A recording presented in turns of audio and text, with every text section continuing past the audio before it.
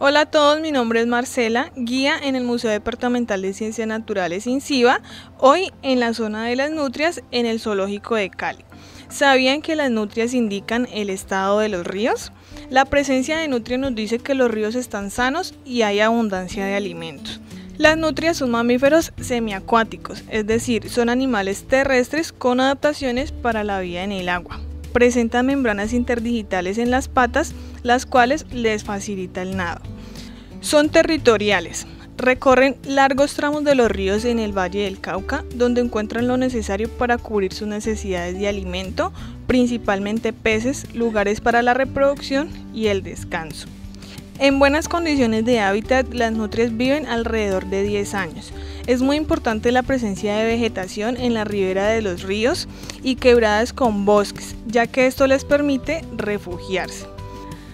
Los ríos, lagunas y quebradas están bajo amenaza por la contaminación doméstica, vertimientos agroindustriales y la expansión de la frontera agrícola y urbanística. Por ello, la invitación es a no contaminar los ríos para que las nutrias y otras especies puedan vivir en su hábitat natural.